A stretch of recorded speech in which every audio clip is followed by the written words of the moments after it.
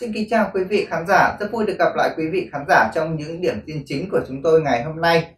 Bản tin 24 giờ cập nhật những tin tức nóng nhất mới nhất về tình hình kinh tế, chính trị xã hội trong nước cũng như quốc tế. Sau đây xin mời quý vị và các bạn cùng theo dõi.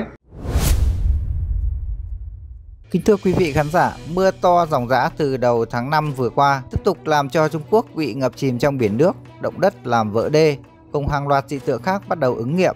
Điểm báo vỡ đập là có thật khiến cho chính quyền ông Tập Cận Bình đang mất ăn mất ngủ. Kính thưa quý vị, thưa quý vị, theo một tờ báo địa phương của Trung Quốc cho biết nước này ngày hôm qua, mùng 3 tháng 7 năm 2023, lại tiếp tục có những trận động đất và ở đây nhiều nơi còn xảy ra lũ quét, lũ ống sạt lở nghiêm trọng làm cho người dân nước này phải chạy sơ tán khẩn cấp. Bên cạnh đó có rất nhiều người cho đến nay đã bị lũ dữ cuốn trôi chưa tìm thấy tung tích. Tờ báo của Trung Quốc còn cho đăng tải nhiều hình ảnh và video ghi lại cảnh mưa to gió lớn, động đất, sóng thần kéo dài trong những ngày vừa qua, làm cho mực nước tại nhiều con sông dâng cao, ngập lụt bủa vây toàn bộ những tỉnh phía nam của Trung Quốc. Ví dụ như thành phố Vũ Hán, An Huy, Tứ Xuyên, Hồ Bắc và nhiều địa điểm du lịch nổi tiếng của Trung Quốc vẫn bị chìm trong nước lũ.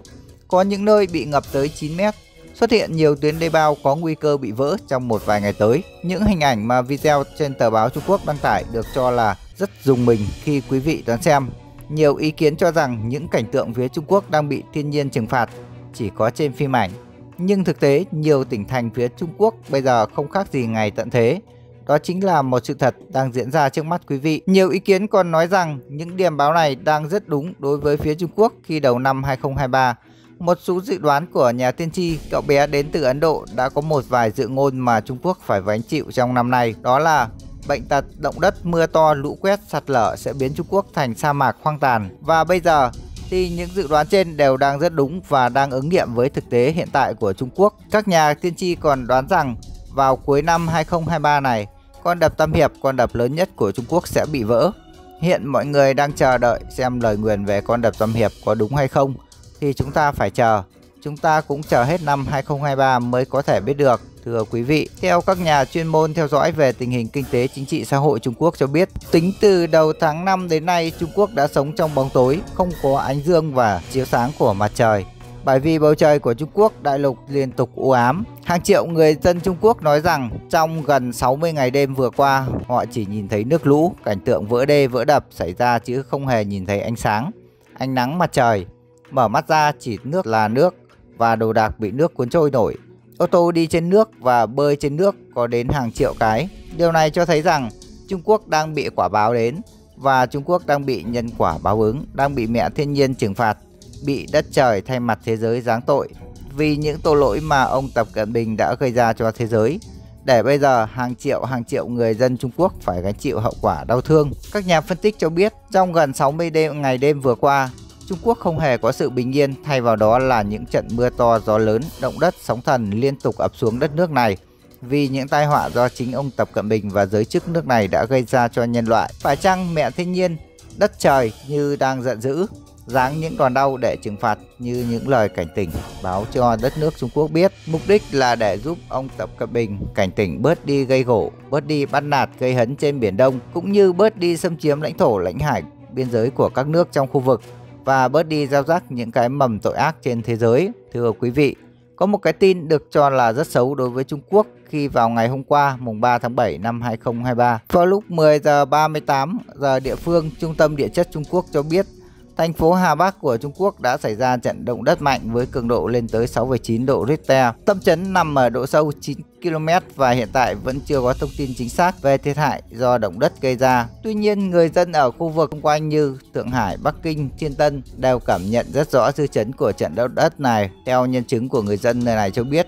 Nơi đây trong lịch sử đã từng xảy ra 3 trận động đất lớn với cường độ từ với cường độ từ 7,2 đến 8,6 độ Richter và một trận động đất được cho là kinh hoàng vào năm 1995. Khi đó trận động đất có cường độ 7,9 độ Richter khiến cho 169 người Trung Quốc bị mất tích và đó được cho là một điều cực kỳ kinh khủng cũng như là tồi tệ.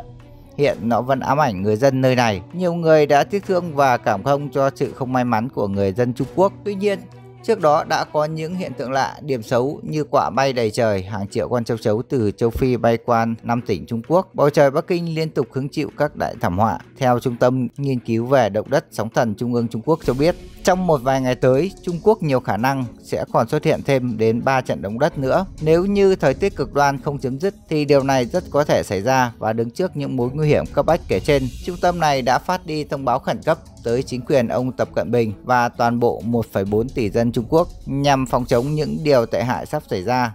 Hiện giới chức Trung Quốc đang rất lo lắng, tuy nhiên họ không biết phải làm sao bởi vì họ không thể đánh bại được sự nổi dậy trừng phạt của mẹ thiên nhiên cũng như đất của trời. Thưa quý vị, Trung Quốc trong suốt gần 60 ngày đêm vừa qua liên tục xuất hiện mưa to, gió lớn, động đất, sóng thần khiến cho giới chức nước này đang mất ăn mất ngủ. Trong một bài phát biểu mới đây tại thủ đô Bắc Kinh vừa qua, đích thân người đứng đầu Trung Quốc, Chủ tịch Tập Cận Bình đã nói rằng tình hình kiểm soát lũ lụt ở đất nước này đang gai go và bước vào giai đoạn nguy hiểm nhất trong lịch sử. Đề nghị các cơ quan ban ngành và người dân hết sức cẩn thận Tờ báo South China Morning Post, một trong những tờ báo nổi tiếng của Trung Quốc, vào sáng ngày hôm nay, mùng 5 tháng 7 năm 2023 đã trích dẫn lời ông Tập Cận Bình. Chủ tịch Trung Quốc kêu gọi nỗ lực toàn diện trong các hoạt động cứu hộ, cứu trợ tại những khu vực bị ngập lụt trên khắp đất nước. Ông nhấn mạnh rằng đảm bảo cuộc sống an toàn của người dân là ưu tiên hàng đầu. Được biết, đây là lần đầu tiên Chủ tịch nước Trung Quốc Tập Cận Bình lên tiếng nói rằng sẽ bảo vệ cuộc sống, cũng như sự an toàn của người dân Trung Quốc đại lục. Mưa to, gió lớn, động đất, sóng thần liên tiếp xảy ra. Trước đó, ông Tập Cận Bình không quan tâm tới người dân của Trung Quốc khi vẫn đem hải quân Trung Quốc tiến ra ngoài Biển Đông để tập trận bắn đạn thật phóng tên lửa thị uy sức mạnh uy hiếp các nước trong khu vực. Điều đó đã bị các nước trong khối ASEAN cũng như cộng đồng trên toàn thế giới lên tiếng phản đối. Tờ báo Trung Quốc cho biết, Tập Cận Bình đã chỉ thị cho chính quyền địa phương ở vùng lũ lụt thực hiện trách nhiệm của mình lên tuyến đầu để kiểm tra tình hình bảo vệ tốt hơn tính mạng và tài sản người dân. Ông Tập nói rằng các bộ phận liên quan nên tăng cường lập kế hoạch phối hợp tổng thể cũng như phân bổ lực lượng cứu hộ, cứu nạn thảm họa một cách khoa học nhất. Chủ tịch Trung Quốc cũng kêu gọi quân đội giải phóng nhân dân Trung Hoa và lực lượng cảnh sát vũ trang của nước này tích cực tham gia vào công cuộc cứu trợ cứu hộ cho người dân. Các bộ phận liên quan được chỉ thị lên kế hoạch tái thiết sau thảm họa, khôi phục trật tự sản xuất và cuộc sống trở lại bình thường thì càng tốt. Sau khi đẩy mạnh nỗ lực kiểm soát lũ lụt và công tác cứu trợ thiên tai, tờ báo của Trung Quốc cho biết rằng những ngày gần đây lũ lụt và mực nước dâng lên hầu hết tại các tỉnh phía nam của Trung Quốc. Đứng trước tình hình đó, chính phủ của nước này đã nâng mức ứng phó khẩn cấp lũ lụt từ cấp 3 lên mức độ cao nhất tức là cảnh báo đỏ. Tất cả các tỉnh như Hồ Nam, Hồ Bắc, Giang Tây, Giang Tô, Quảng Đông, Quảng Tây đều ở mức độ cảnh báo, mức độ cao nhất được biết, mưa lũ ở Trung Quốc đã ảnh hưởng tới gần 60 triệu người trên nhiều tỉnh thành. Lũ lụt đã cuốn trôi nhiều nhà cửa, xe máy, xe ô tô, điện thoại, TV, tủ lạnh, giường chiếu. Được biết, các tỉnh ảnh hưởng nặng nhất của Trung Quốc là Vũ Hán, Hồ Bắc, Hồ Nam, Tứ Xuyên. Tổng cộng có 293 người thiệt mạng và mất tích vì lũ lụt. Đây là một trong những tín hiệu cực xấu cho phía Trung Quốc. Trung tâm Dự báo Khí tượng Thủy văn Trung ương của nước này hôm qua cũng ra một cảnh báo nói rằng Trung Quốc tiếp tục hứng chịu những trận mưa to gió lớn trong những ngày tới, đặc biệt có thể vào tháng 8 năm 2023 để đề phòng lũ quét, sạt lở và sự an nguy của con đập Tam Hiệp. Thưa quý vị, tờ tin tức Bắc Kinh trích dẫn thông tin từ một chuyên gia trung tâm mạng lưới động đất sóng thần nước này cho biết trận động đất 6,8 độ Richter vào sáng ngày hôm nay mùng 5 tháng 7 năm 2023 là một trong những dư chấn từ năm 1976. Tâm chấn của trận động đất trên xảy ra tại huyện Đường Sơn, tỉnh Hà Bắc của Trung Quốc. Đường Sơn từng bị tàn phá bởi một trận động đất 7,9 độ Richter vào năm 1976 đã khiến hơn 240.000 người thiệt mạng và hơn 160.000 người bị thương. Đây là một trong những trận động đất khủng khiếp nhất trong lịch sử của Trung Quốc. Theo Trung tâm mạng lưới động đất cho biết trong 2 tháng đầu năm 2023 đã có tới 12 trận động đất 3 độ Richter trở lên đã xảy ra khiến cho cuộc sống của người dân liên tục trao đảo. Bởi vì mưa lũ, sóng thần, động đất sẽ còn tiếp tục xảy ra trong những tháng tới và nếu như chính quyền của ông Tập không dồn toàn tâm, toàn lực để lo cho người dân thì rất có thể Trung Quốc sẽ bị xóa sổ ra khỏi bản đồ thế giới. Bởi vì theo Trung tâm Dự báo Khí tượng Thủy văn nước này cho biết, mưa lớn và bão tố vẫn tiếp tục ập tới Trung Quốc trong những ngày tới đề nghị cơ quan ban ngành cũng như người dân của đất nước này phải hết sức cảnh giác. Thông tin vừa rồi cũng đã khép lại video của chúng tôi ngày hôm nay. Chúc quý vị sức khỏe, bình an. Xin đừng quên nhấn nút đăng ký và nhấp vào chuông bên cạnh để không bỏ lỡ bất kỳ video nào từ kênh 24 giờ của chúng tôi. Và hãy để lại ý kiến đóng góp của quý vị ở mỗi video. Còn bây giờ xin chào và hẹn gặp lại quý vị trong những bản tin tiếp theo. Để đóng góp cho chương trình Quý vị hãy để lại trong phần bình luận phía dưới để đội ngũ biên tập viên của chúng tôi kịp thời giải đáp. Còn chương trình của chúng ta hôm nay đến đây là kết thúc. Xin chào và hẹn gặp lại quý vị trong những bản tin tiếp theo.